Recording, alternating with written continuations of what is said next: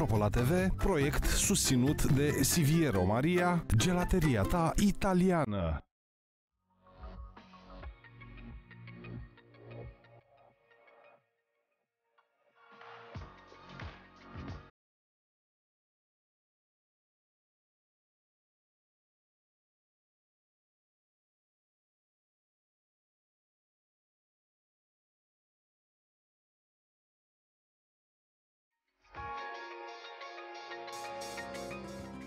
Dimineața tuturor și bine ați revenit la matinal. Începem o nouă zi împreună și cum altfel dacă nu alături de înghețata noastră. Bună dimineața, Valentin!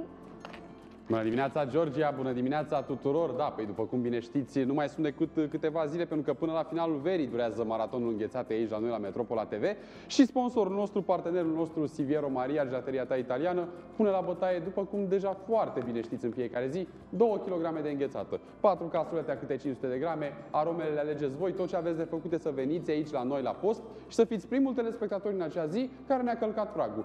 Doar faceți un story cu înghețata și de acolo vă bucurați de ea. Nu e așa, Georgia? Așa este și am făcut și un calcul rapid, nu sunt eu cu matematica prea pricepută, însă mai sunt în afară de ziua de astăzi 10 zile în care puteți să vă bucurați de înghețata pusă la bătaie de sponsorul nostru. După aceea vine toamna, bine îmi pare, dar până până vine toamna ne bucurăm și de câteva știri pentru că dimineața înseamnă informare și cum altfel să ne informăm dacă nu la rubrica Revista Presei.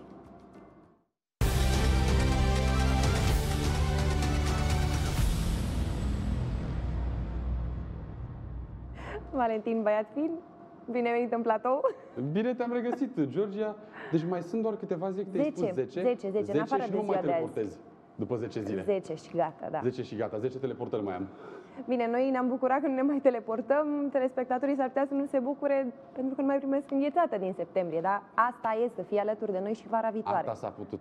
Ne Să pare fie rău. alături de noi și vara viitoare, Dar atât vă totuși, spunem. Mai au încă 10 zile. Da, să Veniți, se mă, și luați grăbească. înghețată. 20 de kilograme, 10 zile, 20 de kilograme. Ce să 20 mai ia, de uite ce kilograme. calcule fac Asta eu e dimineața o asta. regulă a concursului, a maratonului, să nu vină Așa. același pe- telespectator în fiecare zi? Dacă el vrea.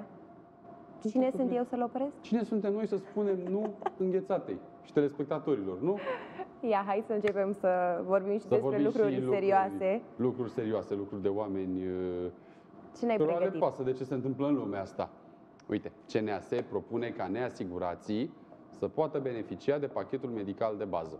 Foarte adică frumos. și dacă nu ești asigurat, să ai și tu niște chestii acolo. Să nu Care fie sunt așa lucrurile de bază? Aici am mie, mie Nu știu curiozitatea. exact ce înseamnă lucru, pachetul de medical de bază. Bănuiesc că la modul ți-a vreo păstrare, te duci la spital, Da. îți face ceva. Oricum O asta deja se perfuzie. întâmplă. Dar ei oricum beneficiau de Poate ajutor o în rețetă, sistem de urgență. Poate o rețetă, ceva, nu știu. Nu Poate- știu că eu, din câte am înțeles, nici analizele medicale anuale nu pot să le mai fac. Da, da, da. Uite, Adică poate vor fi incluse... Doar cu trimitere de la specialist. Dar tu E știi că eu încerc- complicat, tu știi că eu domnule. încerc să-mi fac analizele de sânge, acele anuale, pe Da. cărdulețul al meu de om asigurat, care, care își plătește o asigurare lunară. Așa. Și nu reușesc din luna mai, tot încerc, pentru că nu, Nu sunt pot locuri. să cred. Da, pentru că în Eu- fiecare lună, ca să prinzi luna viitoare, trebuie să suni, am aflat recent, undeva de pe 20 luna trecută. Că Ca să atunci se vedem liberează cumva un locurile. loc. Da, da, da, da. Wow! Cam atunci se Eu pun la mi-am bătaie pierdut locurile răbdarea. pentru luna următoare. Eu n-am această virtute, răbdarea nu e, Deci am nu e avut- una am- dintre am luat, virtuțile mele. Am luat bilețel de la medicul de familie să mi le fac și am rămas cu el în mână, nu am avut să fac cu el. Da, eu am încercat, am fost la medicul de familie, mi-a zis că la mine nu se mai poate, de la medicul specialist dacă vreți. Și am zis, până mă duc acolo, până mă duc acolo, până mă duc acolo și ajung într-un final să fac analizele. Le-ai plătit de la tine. Știi, e o vorbă, are mama o vorbă, până crește iarba moare calul. Cam așa a fost cu mine cu analizele. Am zis, Păi eu trebuie să aflu ce cu mine, punct, scurt și la obiect. Și m-am dus și l-am făcut la da, privat. Cât, cât ai plătit? La privat, Pe un set complet de analize. Bine, m-am mai inclus și câteva analize specific feminine, vreo 800 de lei am dat, mult. Da, e foarte mult. O dată pe an merită, dar Și eu le-am plătit odată ar fi acum trebuit câțiva să ani, le am tot cam măcar așa. pe alea, știi? Adică sunt un om tânăr, relativ sănătos, măcar un set de analize pe an, vă rugăm, putem să facem și noi. Da. Asta Dar e off meu azi dimineață. Deci pachetul medical de bază, asta vreau să ne știu. bucurăm că sunt incluse niște chestii, bănuiesc că în plus față de ce era și până acum, pentru persoanele neasigurate. Pentru că dacă și ele ajung să se investigheze, chiar dacă nu au o asigurare medicală, probabil că mă gândesc, nu știu, într-un fel sau altul, statul, sistemul medical, cheltuie mai puțin bani pe prevenție decât ar cheltui tratând efectiv oameni care sunt deja bolnavi. Deci, face, respect, uh, ne place ce vedem. E o propunere a CNAS în urma unor evaluări și recomandări. Există persoane neasigurate care sunt înscrise la medicii de familie, toți cei neasigurați se pot înscrie la medicii de familie. Ceea ce se dorește este să le oferim nu numai pachetul minimal de servicii, ci și pachetul de bază, care cuprinde un număr ceva mai mare de servicii asiguraților cât și neasiguraților. Dar nu vedem, nu știm exact despre ce e vorba. Cred că nici nu s-a dat o decizie oficială. Cred că dorește, se dorește, e o propunere CNA se vedem scrie acolo. Până se pune în practică... Ținem legătura. Face și respect. Da. Bun, drăguță prima știre. Da, și a doua știre la fel de drăguță. Mă tentează, zi, zi cu a Dar doua nu mai zic, că am zis-o mereu că mă tentează. Deci dacă aș avea, dacă aș avea metrou direct de La mine, muncă. de la mine până aici, Doamne, Doamne, n-aș mai, ar, s-ar pune praful pe mașină. Și Doamne, câți bani aș economisi. Metrorex a scăzut timpii de așteptare în stațiile de metrou. Ei, Să știi că eu am mers cu metrou acum, cred că o săptămână și jumătate, poate două, mă și stăteam cam mult în stație și am zis că mă, cine știe, s-o fi blocat pe tunel, s-o fi întâmplat ceva. Dar am vorbit cu colegii noștri din redacție în dimineața asta când am văzut această știre și am înțeles că e o problemă reală, că de câteva luni metrourile vin foarte rar. Și ce Au am fost văzut și eu- oameni în concediu, mă, Valentin. Hai să o zicem pe aia dreaptă. Nu așa s-ar Nu, e explica? altă, e altă manevră la mijloc, au fost niște lucruri, s-au scos niște trenuri din cauza unor datorii, din cauza unor lucruri, am înțeles eu ceva pe acolo așa. Dar vedem că acum Metrorex a introdus uh, câteva trenuri suplimentare și că timpii de așteptare au scăzut, am înțeles, undeva la 8-10 minute. Foarte Stai. frumos. Dar eu, în amintirea mea de licean, că eu Așa. mergeam cu metrou la liceu, eu mi-am că stăteam maxim 5 minute pentru un metrou, Da, mai ales îi- dimineața. mai ales dimineața, uite, pe magistrala Pipera Berceni stăteam un minut jumate, două minute maxim Da, între cam așa trenurile. ceva, adică veneau trenurile la foc automat. ne, s-au dus vremurile alea. Acum, uite, s-au băgat șase trenuri suplimentare, dar bine, câte mai Eu sunt aștept- în vreo trei, Lăsați patru. magistralele, trenurile existente. Ce aștepți? Hai să mai facem niște metrouri în București. Hai să facem Asta din alea, ne doare, de hai fapt. să facem Eu din de-aia alea suspendate nu care las zboară pe mașina. lângă clădirile alea înalte de sticlă. Pe lângă faptul că eu măcar controller de machiaj pe după mine aproape în fiecare săptămână, e greu, domne, nu se poate. Sunt doamnă, femeie, nu merge chiar așa. Dar dincolo de asta, dacă ar exista mai pe aici, pe colea, pe la piața presei, o gură de metrou, jur că aș veni cu metrou. Da, și eu am zis-o, Da. poate ne aude cineva. Poate se gândește, cât, Poate ne câți aude oameni lucrează în cineva. casa presei? Cred că sunt mulți. Da. Și Pentru dincolo noi de asta ăștia. sunt clădirile de birouri de lângă. Sunt mulți beneficiari care ar putea să vină cu metrou. Și poate să continue linia Și până îți la dai molul seama? ăla care e mai departe un pic. Da, pe și aici. decongestionarea traficului Ar fi în, genial. pe, în zona asta unde e și de neu. Wow. Doamne, superb ar fi. Dar, vedem, s-a redus Vise. uh, timpul Vise, la, ai la- ceva și despre somn, despre vise, Despre ce? Despre somn, despre vise. Eu încă, nu, ziceam de noi că astea vise ce povestim noi acum. Ah, nu, credeam că te referi la dormit în metrou sau ceva, că eu mai practicam chestia asta. Jură-te, nu da, și cred știi așa cum ceva. adormeam tot timpul, mai eram cu prietenii și îmi făceau poze pentru că tot timpul adormeam cu capul pe spate și, nu știu, cred că automat mie mi se deschidea gura. Aia, Nu era foarte mult aer și trebuia să ajungeam, ți oxigeneze ajungeam, creierul. ajungeam așa tot timpul în metrou. Nu cred. Da. Bun, hai să trecem uh, și la următoarea știre. Uh, România va primi o donație de 5.000 și nu de euro de doze de vaccin contra variolei maimuței de la Comisia Europeană. Mai sunt cazuri că, uite, eu asta nu Da, mai au știu fost, din am înțeles, concediu. două cazuri în ultima săptămână. Dați mă și voi 5.000 de doze, să le aveți acolo când o, când Când o o fi, fi mai nevoie. rău, să aveți să fiți acolo, să fiți pregătiți. Dar uh, eu nu știu, nu prea știu cum funcționează treaba asta cu vaccinurile.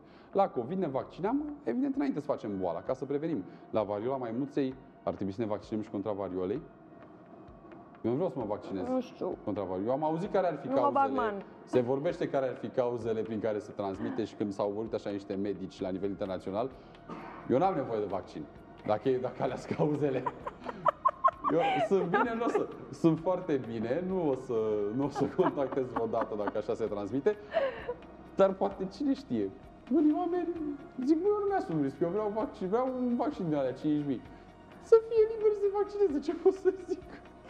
Băi, e o informație bună. Da.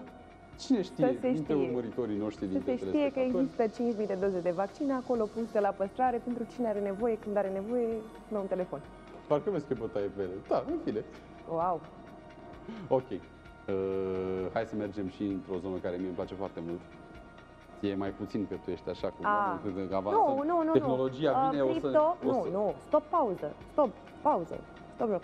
Cripto e un subiect care îmi place. Metavers e un subiect Dar metaversul care se nu-mi bazează place. pe blockchain și Bitcoin tot pe blockchain se bazează și Da, dar știi, sunt, sunt conectate cumva. Dacă o să ai un înțeleg concert, să dau bani virtual. imaginează la lăutari. Da, un concert la lăutari în metavers. Dacă vrei, nu poți să arunci cu banul fizic pe lăutar, cum fac Da. cu băieții aia șmecheri acolo, da? Trebuie să arunci cu Bitcoin. Și nu poți decât prin blockchain să faci treaba asta. Mm, Ba da, acolo vom trăi. Asta Dacă vom nu aud face. acordeonul la ureche, degeaba mai dau banii la lăutari. E Zic foarte pentru sora mea, simplu. nevasta mea și toată masa mea de acolo. Dar uite, sunt țări și orașe Așa. în lumea asta mare în care noi trăim reală, nu virtuală, care au adoptat Bitcoin ca mijloc de plată. Eh, aici n-am nicio problemă. Aștept, Doamne Dumnezeule, ziua în care o să mă duc la ANAF și o să-mi plătesc taxele cu Bitcoin. Când o să fie acolo, cred că, cred că la noi în România o să facă blockchain-ul ăsta să fie... Blockchain-ul se plătește la etajul 2 la noi. Știi cum e aia cu ghișeul online? Declarațiile online se depun la etajul 2. Exact așa cred că va fi și când o să ajungă pe la noi treaba asta. Uite, Republica Central Africană a declarat Bitcoin ca monedă oficială legală de plată. Adică bănuiesc că și comercianții și magazinele. Te duci, îți iei un suc, îl plătești cu Bitcoin. Păi asta este scopul Bitcoin. Noi am înțeles greșit până acum. Uh, am avut o discuție la începutul matinalului, acum, hă, hă, hă, hă, cu colegul nostru Eduard Pastia, care ne-a povestit că inițial cripto n-a fost făcut să fie o investiție, ci pur și simplu banii să fie folosiți, să circule, că asta era menirea Exact. lor, adică asta ar trebui să se întâmple, Să fie o dincolo monedă că descentralizată ai care nu e stocuri de controlată bani. de, guverne și de eu știu ce alte piețe, strict pe cerere și ofertă se bazează. Da. Când toată lumea cumpără Bitcoin, prețul Bitcoin crește că îl vrea lumea. Adică Când toată lumea unul vinde- dintre oamenii care au înțeles pentru ce a fost făcut m, tot sistemul ăsta a fost cel care a cumpărat pizza cu Bitcoin. El a Doamne, înțeles. Mă mir că acel om mai, El a mai înțeles. poate fi viu și mai poate dormi noaptea. Pentru cei care nu știu povestea, există un om de prin America, dacă nu mă înșel era, care a cumpărat cu nu știu câte milioane de bitcoin sau sute de mii de bitcoin vreo două pizza prin 2010. Și cu banii aia acum erau nu știu câte miliarde de dolari dacă îi ținea până acum. Tu îți dai seama cum, că l-au luat, Da, l-au dar el luat a la înțeles- interviuri, omul ăla s-a El a aflat povestea înțeles lui. că pentru asta a fost făcut Bitcoin. Da, și cred că e foarte împăcat. Uite, mă, mi-am cumpărat două pizza. Nici nu voiam 14 insule, 13 elicoptere și 100 de mii de mașini de lux și 14 iahturi. Eu am mâncat două pizza și ce bune au fost. Doamne, că nu mai mâncam, nu mai mâncam pizza în viața mea, reclam în locul lui. Mai vreau să văd pizza cât și nici comenzi nu mai făceam niciodată la nimic. Mă mutam în junglă și, Și conduceai mașina de lux prin și șoc. mâncam, nu, mă mutam în junglă și mâncam Crengi. ierburi și crengi, dacă eram în locul lui. Ce supărat ești pentru Că omul tot ăla. am ajuns la mașini de lux. Așa. O mașină de lux a fost lovită de două ori de același copac și probabil te întrebă cum e posibil că un copac cu ATC s-a rupt și a căzut pe mașină. A, vine răspunsul din Cum titlu. e posibil să mai cadă încă o dată? Și avem, avem un videoclip. Haideți să-l privim. Nu pot să cred. Că e absolut genial. Uitați-l, săracul om acolo. Cred că dânsul care ține acolo puțin de Deci, cred pinga că aceea. Newton, Newton Ia. a fost invitat 3, Cu tocul 2, legile lui? 1, Pop! Opa! Wow! Uite săracul cum face, cum face și cu mâna. Bă, ce... Bă, de nimic Nu stă mai în poate, stare, bă, e- nici e- măcar. e Bă, o ma- siderat. Și e o mașină Wow. care Este. are scoruri mari. E o mașină cu scoruri mari, nu cu... Este. Dacă nu mă înșel eu, cred că e pe aici, pe lângă noi, pe lângă Casa Presei, cu nu, ieșirea e în Nargeș. Mihalache. E Nargeș. A, e în Argeș? E în Argeș. Ia, mă, Interesant. Sărac, uite cum face cu mâna. Vai. Uite că se duce și la omul ăla care a ridicat acolo și face, "A, bă, ce ai făcut, mă? Ceasul rău, pisica neagră, ne pare tare... Bine, nu Tare e de rău parcă pentru mașina era, era intactă înainte de posesorul această mașinii. cădere. No, tot era zob, dar e amuzant momentul pentru noi. Că pentru dânsul, sigur, nu e. Cineva e bun de plată. Cine? Mama cine... natură. Mm, Cine n-a tăiat copacii, cine a scăpat copacul Da, da, da, da, da, da. da. și posesorul s-ar putea să se transforme într-o bestie la cum arată mașina aia. și că tot am zis bestie, zi tu cei cu filmul ăsta Beast, l-ai văzut? Știi ceva despre el sau? Mă, am auzit niște chestii despre el. Ah, Dar da. să știi, tu știi că eu n-am mai, n-am mai fost la un film, cred că de vreo lună. Mult Și a înainte, trecut. nu, și înainte de asta, cred că au trecut câteva luni. Adică în Crezut ultimul că au timp chiar nu trecut prea am fost câțiva la film. Ani. Uite, avem un uh, canal de YouTube de unde ne inspirăm când vine vorba de filme. Dacă nu știm ce să alegem, ne uităm pe canalul de YouTube Recenzii Filme Cinema și ne lămurim. Astăzi învățăm câte ceva despre ce anume se întâmplă cu filmul Beast.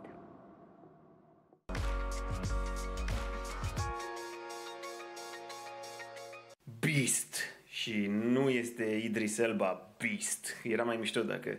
Îmi place Idris Elba, adică e, e, e, nu știu de ce neapărat. Poate e carismatic, poate, sau pur și simplu că e impunător, e mare așa și arată bine. Mi se pare un bărbat care arată bine, știi? Nu știu dacă de aia îmi place neapărat poate în anumite roluri, nu știu, mi-a, în general, când aud Idris Elba, sunt gen, ah, ok, mișto, nu știu de ce neapărat, că nu au fost filmele grozave sau n-a fost el și gen, mamă, ce super rol a făcut atunci.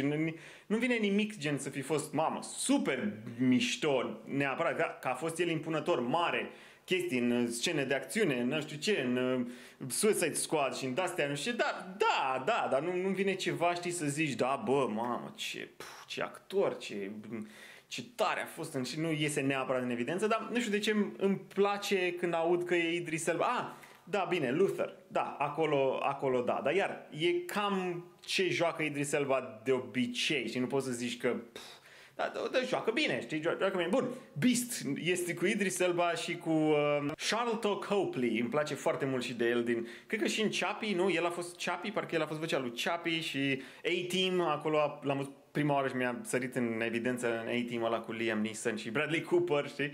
Da, vă rog, foarte mișto rolul ăla. Îmi place de el, îmi place foarte mult de el. Și era Idris Elba și Sharto Copley, care bine, n-am prea mai fost în cine știe ce roluri extraordinare din ultimul timp, dar îmi, pla- îmi place de ei doi, știi? Și Bun, filmul este despre un leu care o ia razna. Sunt interesante dacă sunt interesante.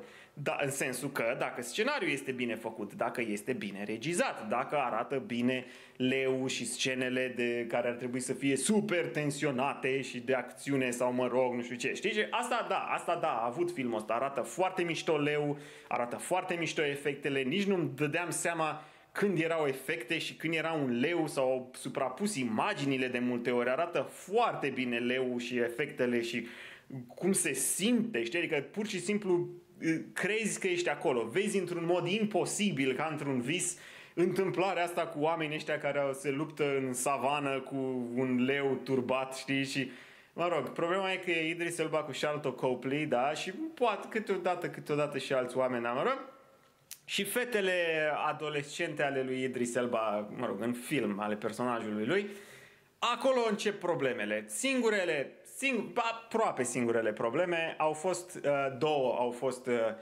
cele două fete, uh, cele două probleme ale mele, foarte mari, incredibil de enervante femeile, fe, fetele alea, personajele. Adică, de ce a vrut regizorul atât de mult să facă fetele alea în continuu Dad, Dad, are you okay, Dad? Dad, what's wrong? Dad, where are you? Dad, hey, Dad, Dad, are you okay? Foarte enervante pentru că mă enervez acum numai când mă gândesc la, la, la fetițele alea și la a fost, au fost și chestii trase de păr, clar. Adică au fost niște chestii, niște decizii super stupide. Bineînțeles că una, după ce se luptă cu Leo de jumătate de oră și știe că Leo o vânează și nu știu ce, ea se duce să-l salveze pe unul, singură, pleacă, fuge, fuge de la mașină să-l salveze pe ăla. Eu mă duc să-l salvez pe ăla. Știind că Leu a omorât 20 de bărbați mai puternici decât Idris Elba, nu, frate, ea se duce ea singură, că deși e terifiată, sigur se ducea ea singură să-l salveze pe ăla. Au fost câteva chestii, ori decizii stupide, ori decizii pur și simplu ale scenariștilor care au părut forțate și imposibile și normal că ăla trebuie să supraviețuiască. Am,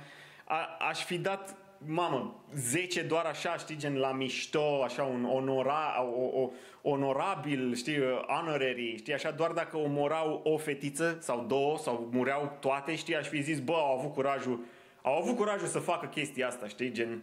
Dar nu, bineînțeles că e genul ăla de poveste super fericită, că nu știu ce, când am văzut că e interzis sub 12 ani și avem un film cu un leu care mănâncă oameni, Eram, ok, deci uh, nu o să se întâmple ceva prea groaznic, dar mă rog, hai să vedem. Și au, și au fost, au fost câteva scene care am zis arată bine, care au fost destul de uh, pline de suspans, așa, știi, când vine leu, când sare, când nu știu ce, câteva jumpscare-uri, da, ok. Pe partea asta de thriller, așa, nu e horror, thriller, știi, gen de, de tensiune, a, a avut destul, momente destul de mișto. Cum se termină iar e foarte cam tras de păr, cum, sunt multe chestii enervante și nu e grozav, nu e nici incredibil de eh, enervant, de, de prost, de, știi, gen, aoleo, știi, nimic nu e real, nimic nu e... Nu, nu, dar e așa 50-50, și a fost, uh, a fost ok, da. Eh. Adică după părerea mea personală, ce am vrut eu, pentru ce a vrut să fie pentru mine și cum m-am simțit eu ieșind de la film, e undeva pe la un minus 7 pentru mine. Minus 7, da, e, e așa, e aproape ok, e aproape ok. Au avut, au avut niște chestii mișto, dar până la urmă e gen, da, ea a fost aproape ok. Idris Elba n-are niciun moment, știi, să zici că, bă, e omul ăsta e mare, e nu știu ce, e, poate e antrenat, poate e sau pur și simplu e el un dur, nu trebuie să fie toți antrenați, că într-adevăr devine cam clișeic. Toți sunt foști uh, soldați în uh, marină, toți sunt uh, fo- foști, de aia, cum se cheamă, Navy SEALs. Da, devine un pic, nu, nu e, am înțeles, e medic, e doctor, știi, dar putea să fie un doctor dur, putea să fie super, știi, să aibă, sau pur și simplu să aibă un moment în care să fie gen șmecher, că își folosește puterea, masivitatea sau ceva, sau să aibă un moment, pur și simplu. Nu, e Idris Elba, e, e, e doar își calmează fetele, este așa trist oarecum, e speriat pentru fetele lui și e așa pur și simplu, joacă un tată foarte protectiv, oarecum, nu știu ce, care bineînțeles, astea până la, până, astea sunt atât de enervante fetele astea că până și când erau atacați și vânați de leu și erau într-o tensiune totală, îl frecau pe ăsta la cap că nu știu ce n-a fost lângă maică sa și de ce n-a fost lângă mama lor și soția lui și s-a aștepta și tot, tot, îl tot împingeau, știi, gen, el era singurul care le ținea în viață și ele tot erau, n-ai fost acolo pentru mama, nu știu ce, eram sigur, asta e, asta e subiectul acum, asta e important acum. Cum vi s-a părut vouă? Ce notă i-ați da voi și au, vi s-au părut fetele enervante? Poate mi s-au părut doar mie, nu știu, mie mi s-au părut foarte enervante, dar na, sunt curios de, de voi. Nu uitați să vă abonați și clopoțel și ce vreți să urmeze. Mulțumesc foarte mult membrilor. Doamne plăcută tuturor. Pupa, dapa, dapa, dapa.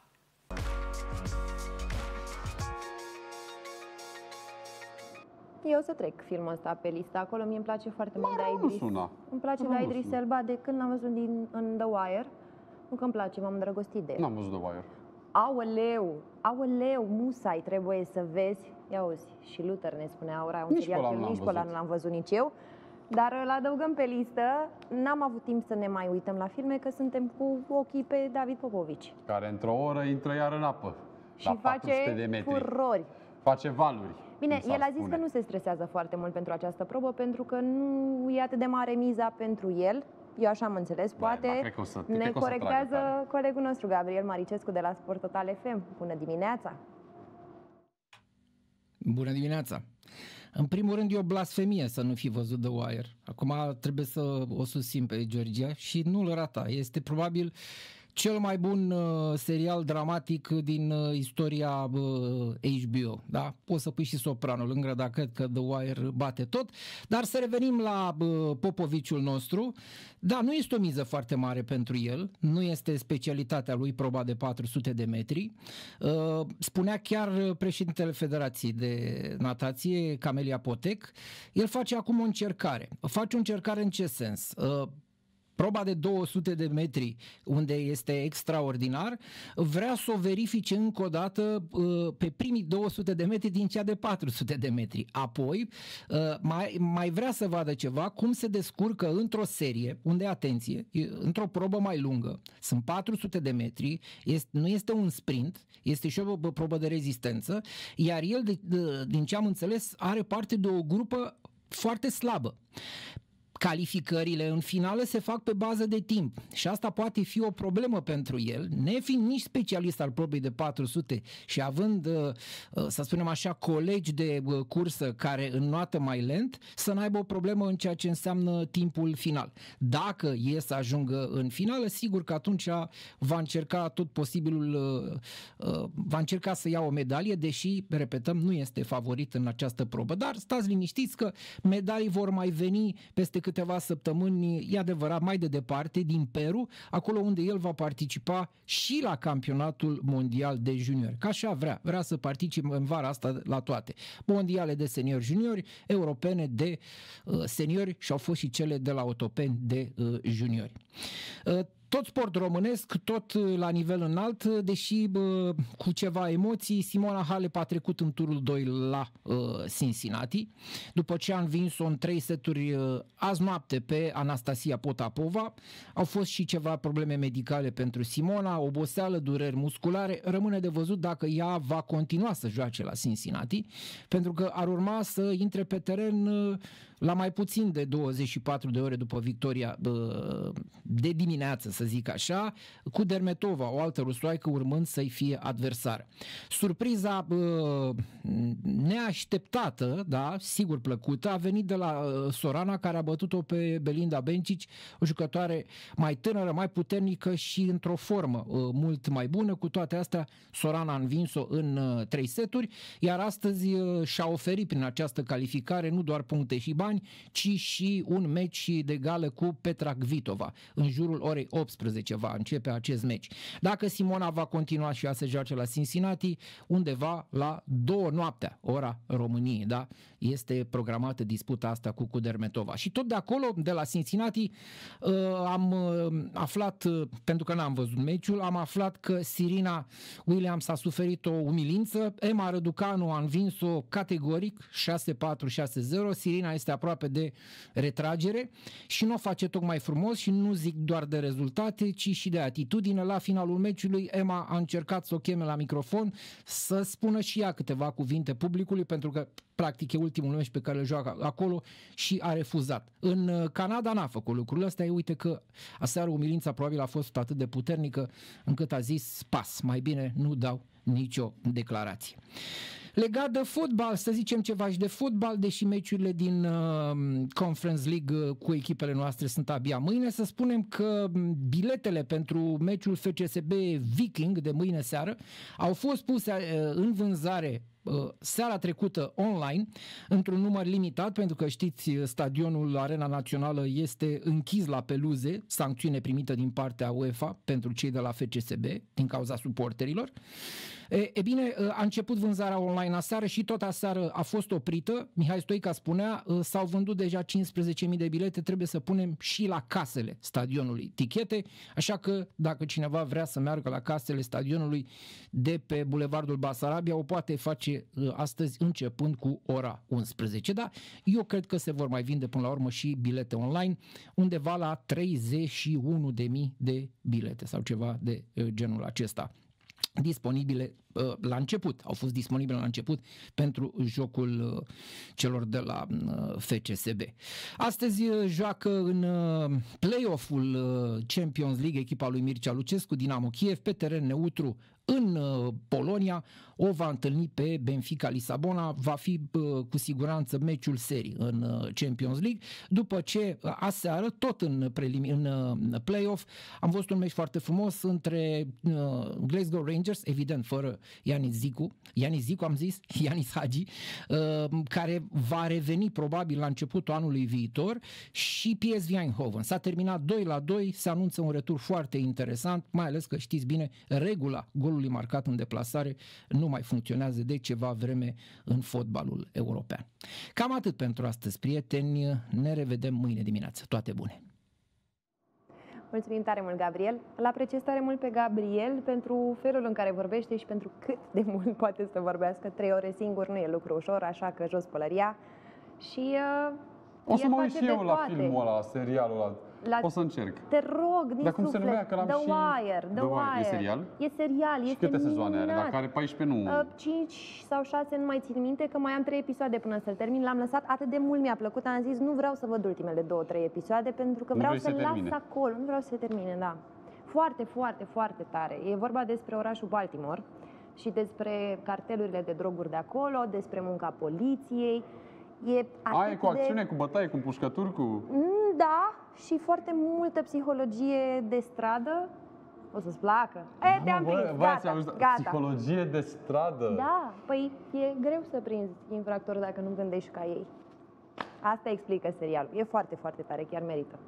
Foarte Bine. bine scris, foarte real, fără exagerări, fără gata. Până la, Mă psiholo- opresc, până la mă psihologia opresc, de adică- stradă, hai să vedem ce se întâmplă pe străzile din România. București. Nu din, București, din toată România. Hai să aflăm Că câteva avem știri. Yeah. Yeah.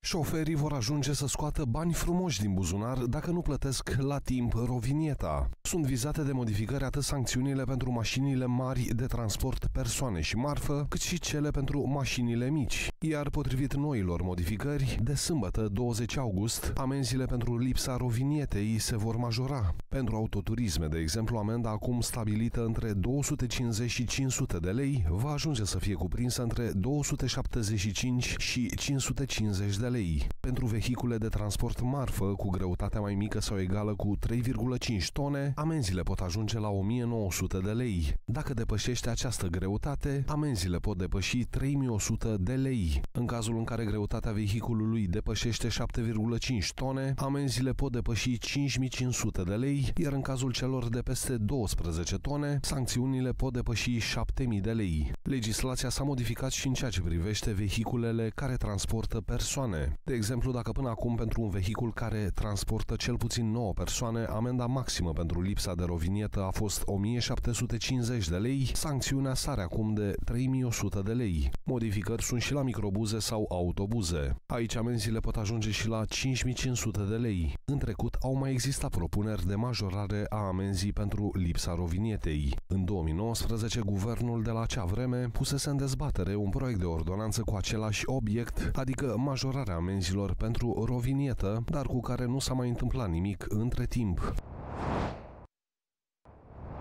Sprijinirea familiilor numeroase cu trei sau mai mulți copii, îmbunătățirea vieții copiilor care trăiesc în medii defavorizate, asigurarea egalității de șanse pentru femei în cazul accesului la posturile de decizie, precum și sprijinirea seniorilor, sunt preocupări centralizate în trei proiecte noi de lege aflate în lucru la Ministerul Familiei, Tineretului și Egalității de Șanse. Gabriela Firea a anunțat că experții ministerului pe care îl conduce lucrează la un proiect legislativ care să asigure accesul femeilor în posturi de conducere, atât în marile companii cât și în instituțiile de stat. Ministrul Firea este singura femeie ministru din cabinetul Ciucă. Concret, uh, propun uh, în scurt timp uh, colegilor din guvern modificarea ordonanței de urgență 101 pe 2011 privind guvernanța corporativă a întreprinderilor publice, adică din cei 5 candidați, minimum două persoane să fie de genul feminin.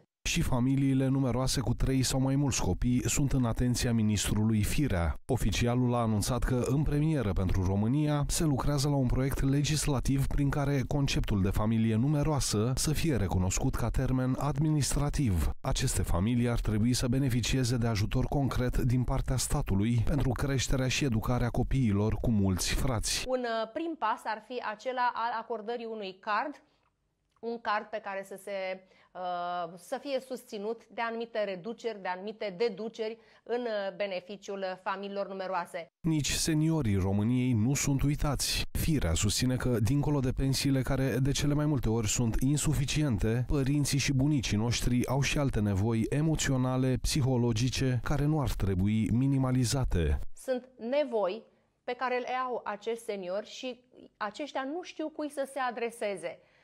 Nu cred că este suficient ca un senior să primească doar pensie. Este foarte bine că primește o pensie de la stat. De multe ori este insuficientă pentru a acoperi costurile, care înseamnă medicamente, alimente. Nu mai spun cei mai mulți renunță la îmbrăcăminte nouă. Ministrul Familiei îi invită pe români să nu ezite să formuleze propuneri de modificare a unor legi sau chiar idei de legi noi, atât pe pagina de internet a Ministerului, cât și pe paginile de social media.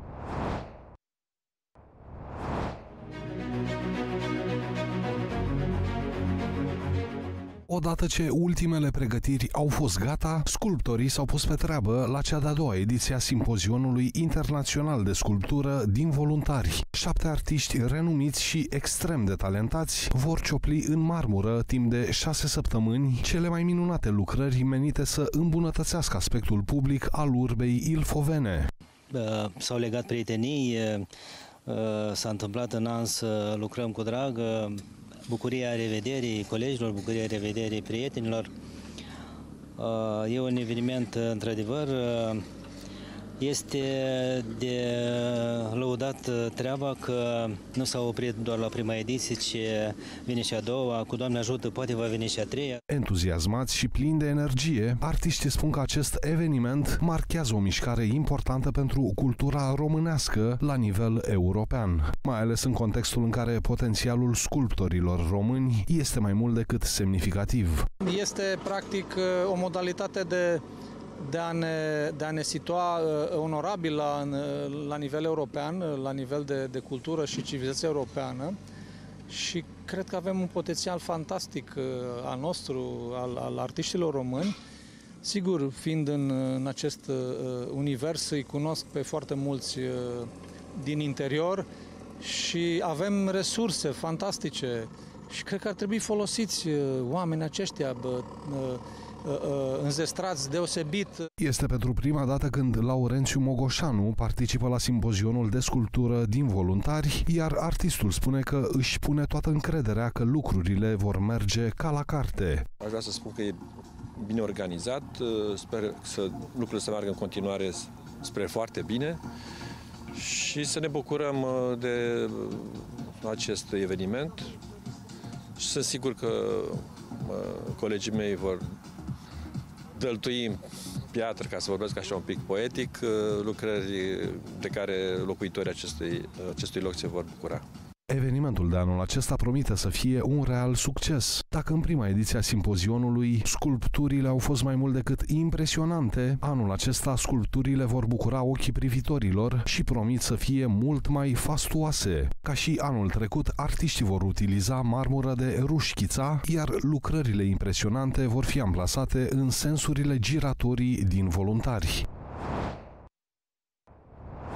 Actrița italiană Gina Lollobrigida, în vârstă de 95 de ani, intenționează să candideze pentru un loc în Senatul italian la alegerile generale din 25 septembrie. Cariera ei cinematografică a atins apogeul în anii 1950 cu cele mai faimoase filme ale ei, dintre care Beat the Devil și Cocoșatul de la Notre-Dame. Lollobrigida vrea să participe la alegeri pe listele Partidului Comunist. Ea a declarat că a vorbit cu avocatul ei înainte de a lua decizia. Starul de cinema are un tutore care a fost atribuit de o instanță după o dispută în familie de ani de zile și, prin urmare, nu are voie să ia singură decizii cu privire la bunurile ei. Lolo Brigida a încercat să-și lanseze o carieră în politică încă din 1999, când a candidat pentru Parlamentul European, dar nu a obținut numărul de voturi necesare.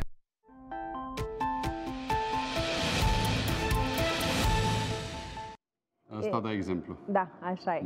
95 de ani. Bravo și uh, acum să povestim puțin și despre trecerea timpului, dacă tot ne-am legat de acest despre subiect. trecerea vremii. Da, este trecerea vremii și este momentul acela în care eu încep să răgușesc. Deci sunt convinsă că temperaturile scad. Să te Ce audă zici? Dumnezeu. Și Romina. Ți-ai dori? Un Ți-ai pic. dori? Mă, un pic. Nu să fie 0 grade. Da, așa un pic pe la un 20, eu sunt cel mai largul meu, așa. E... Romina, tu ți-ai dori să scadă temperaturile? Bună dimineața! Bună dimineața! Să știți că eu nu-mi doresc să scadă temperaturile pentru că îmi place mai mult uh, căldura. și tocmai uh, de aceea și astăzi uh, vin cu vești bune, pentru că vremea este călduroasă în aproape toată țara, iar disconfortul termic se menține ridicat. Soarele este prezent mai mult în partea de vest și în partea de sud a teritoriului. Ei bine, cerul este variabil în celelalte regiuni, cu unele înnorări.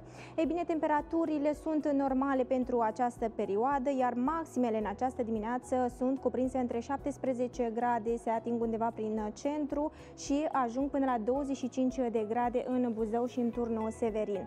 De asemenea, în București, vremea în această dimineață este călduroasă, iar cerul se menține variabil, cu unele înnorări în a doua parte a zilei. Vântul suflă slab și moderat, iar șansele de ploaie sunt reduse pe parcursul zilei. Valorile termice în acest moment pornesc de la 22 de grade Celsius în centrul capitalei și pot atinge 23 de grade în nord. Acestea sunt informațiile despre vreme, ne revedem mai târziu. Mulțumim. Romina, te rog, blochează acolo la 22 să rămână așa toată ziua și toată noaptea și mâine să fie tot 22 și să nu se mai modifice, să rămână 22. Da, Și să aflăm și horoscopul, Să ne zic. spună și Olivia una alta despre cum stăm cu sănătatea, banii, viața, oportunitățile, Prietenii, familia, dragostea. dragostea, da, da, da, da, da. Ia zi Olivia.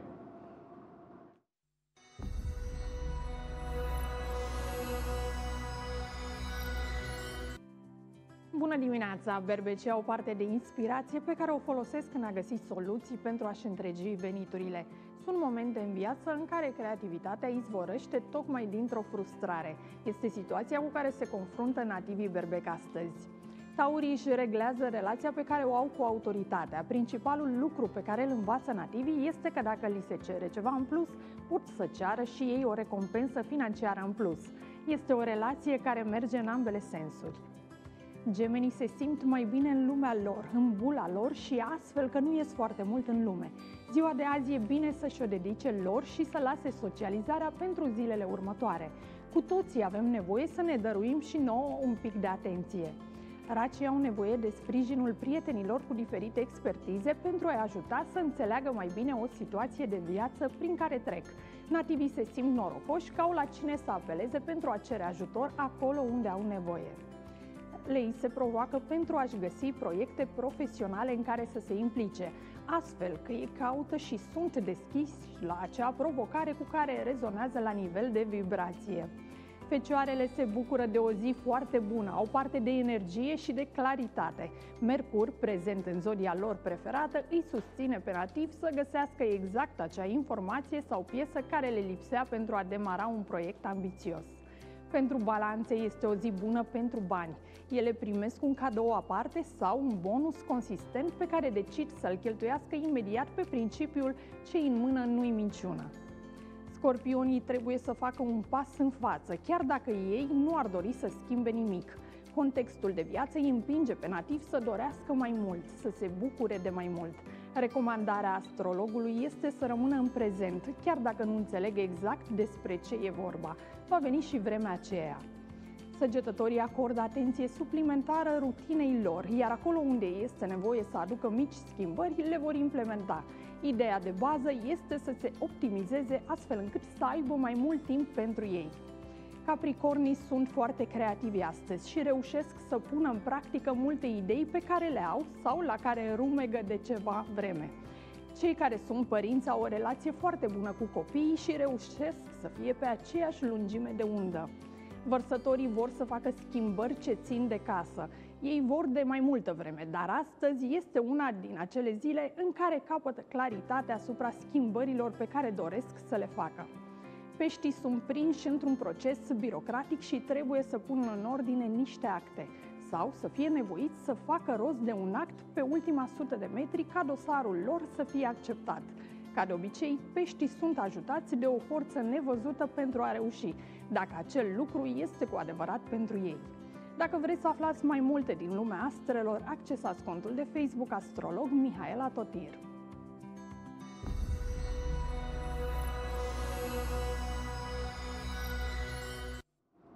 Astăzi, Valentin, vei merge la școala de văzut seriale.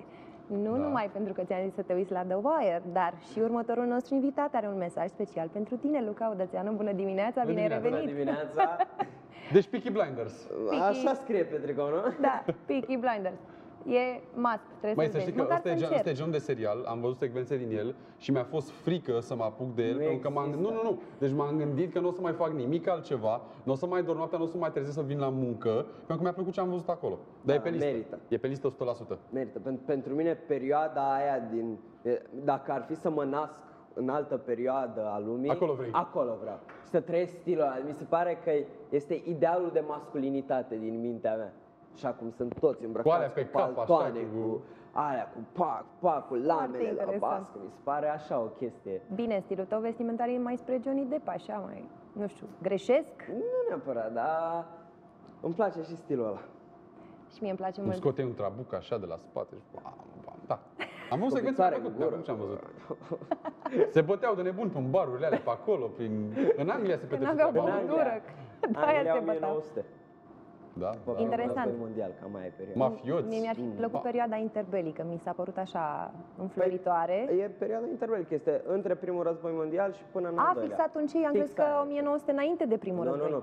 Primul sezon începe fix de când se întorc ei din primul război. A, vezi ce mult m-am uitat la Vai, primul nu prea sezon? de uitat. Hai că ne uităm place. amândoi și data viitoare când vii, îți facem rog. un Venim cu temele rezumat. făcute. Ce ai mai făcut în afară de faptul că ne duci acum la școală și ne, ne pui să ne uităm la Peaky Blinders? Uh, Păi, de când uh, n-am mai fost De un în an. acest platou, de un an, am mai compus o melodie și am uh, cât mai multe proiecte pe tema teatrului. Foarte Cu care interesant. vreți să... Hai să vorbim de teatru prima dată, Ok. Ca să ascultăm după aia melodia și pe aia vorbim și despre muzică. Ce Ok. zici? Bine, Părțim bine, așa. bine. E, e. Uh, cu teatru, eu fac parte din trupa Victory of Art, este o trupă de teatru din București și noi uh, pe parcursul uh, anului școlar, noi avem o stagiune la Teatrul Țăndărică, jucăm în fiecare sâmbătă acolo. Acum, pe timpul verii, uh, suntem mai mult orientați pentru că aceasta, luna august, este perioada festivalurilor și ne plimbăm prin toată țara și jucăm. Oho.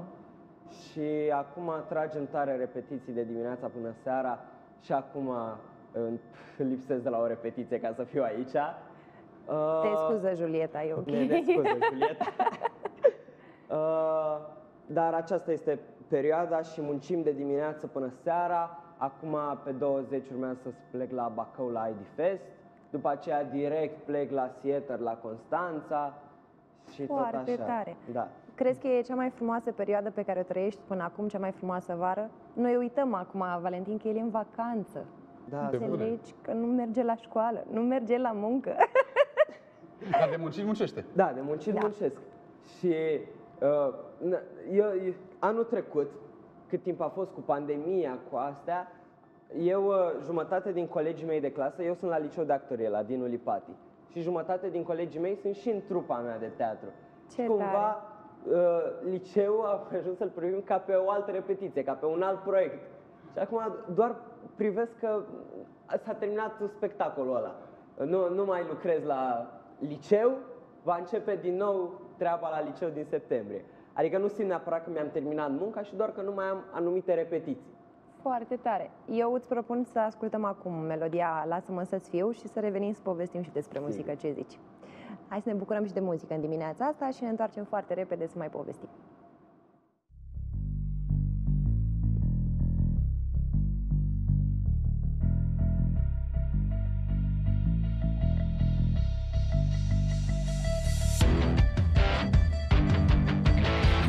Lasă-mă să-ți fiu. Lasă-mă să-ți fiu. Lasă-mă să-ți fiu. Dacă vrei puțin să tac Doar pupă-mă. Dacă-ți pasă ce mai fac Doar sună-mă. Dacă vrei să stai lipită Doar lipește-mă. Dacă vrei să fii iubită Doar iubește-mă.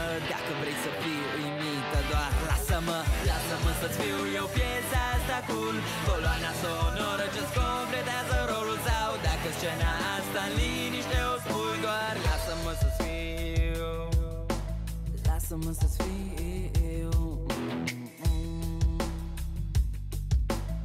Lasă-mă să-ți fiu, doar lasă-mă să lasă-mă să lasă-mă să-ți fiu Eu piesa siropoasă. Atunci când plângi și simți că de nimic nu-ți pasă Lasă-mă să-ți fiu eu piesa fericită. Când doar mă ții de mână și mă bucur ca la chintă. Lasă-mă să joc mereu în echipa ta Lasă-mă să stăm mereu sub acestea. Lasă-mă să-ți fiu parfumul ce nu îl schimb Doar când sunt cu tine să simt că nu am timp Lasă-mă să-ți fiu eu piesa asta cool Coloana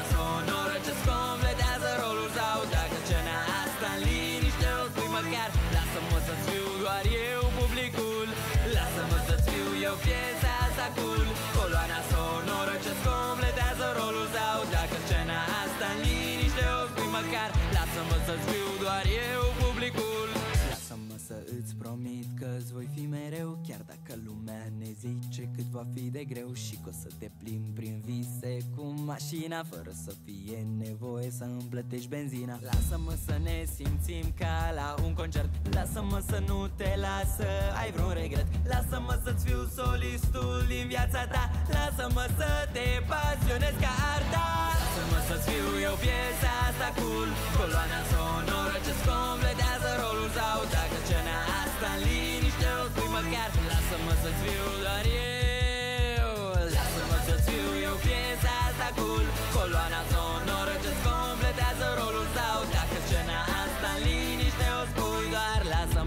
doar lasă-mă Jos pălăria, Luca. Mi-a, mi-a Super plăcut. tare clipul, piesa, Da. tot.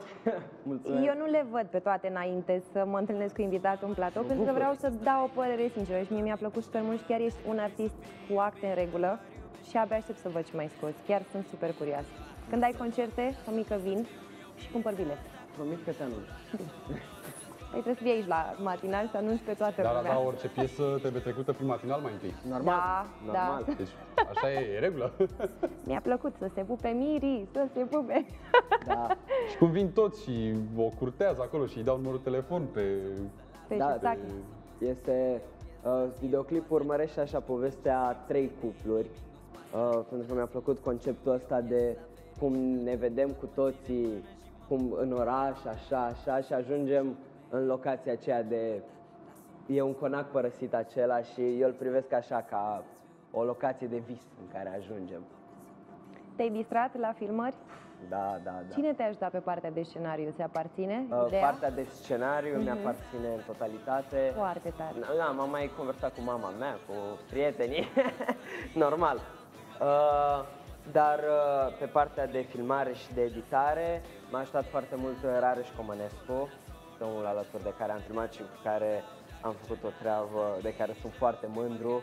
Chiar dacă am semnat câteva nopți nedormite, ne-am distrat foarte tare. Au meritat. Da, chiar da. Este, este o piesă la care am muncit mult mai mult decât la celelalte, în care am investit mult mai mult și care a durat mult mai mult, pentru că mai ales partea de videoclip a durat foarte mult să găsim locațiile și să fie totul perfect fix cum îmi imag- îmi imaginam, pentru că mi-am făcut conceptul și scenariul în minte și am zis că nu vreau să fac niciun compromis, fix așa vreau să arate și așa Foarte arăt. tare. Cei care mai sunt în videoclip sunt colegii tăi de la teatru? Da. Uh, fata, partenera mea este și iubita mea în viața reală. Ce Ce drăguț. drăguț. Da, despre ea este piesa. Ultima mea piesă, dacă îți mai aduce aminte, se numea N-am timp. Mhm. Și uh, în continuare n-am timp, doar că... Doar că-ți faci. Da, pentru că mi-am dat seama că poți să ai timp dacă îți dorești și poți să ai timp doar alături de o persoană care nu are nici ea timp. Aha, foarte pentru frumos. că și ea este colega mea de teatru și cumva uh, reușim să îmbinăm plăcutul cu utilul și practic asta reușesc alături de toți prietenii mei. Ceilalți sunt de asemenea colegii mei de la teatru în mare, uh, câțiva colegi de clasă. Foarte Leon, tare. Leon Toboșarul din videoclip este cel de, cu care am compus melodia. Cu el am compus toate melodiile mele, pe omul meu de bază. Eu te felicit din suflet și aștept să revii să mai povestim. E foarte scurt timpul la noi, dar uh, ne bucurăm dacă, dacă ne mai treci pragul mai des. De ce nu? Chiar și fără să lansezi vreo melodie, pur și simplu stăm la Chemați-mă și povești. vin. Perfect. Mulțumim tare Mulțumim, mult, mult spor, mulțumesc și eu. să ne revedem cu bine. Luăm o scurtă pauză de publicitate, dar ne întoarcem foarte, foarte repede. Mie îmi chiore masele de foame, e Și clar mie. că e acea pauză de mâncare, așa că vă invităm pe toți să luați micul dejun, de ce nu, dacă n-ați făcut-o deja. Revenim cu burțile pline. Da.